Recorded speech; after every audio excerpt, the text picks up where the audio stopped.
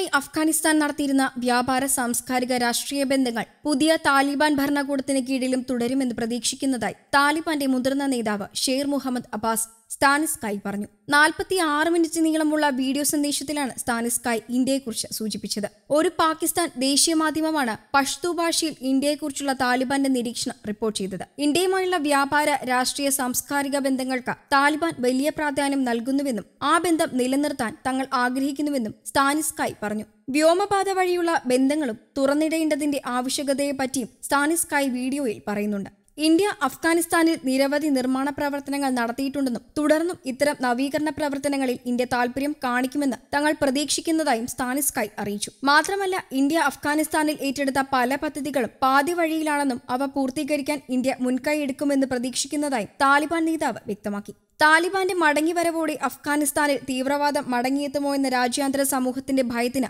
അർത്ഥമില്ലെന്ന് സ്റ്റാനിസ്കായ് പറഞ്ഞു.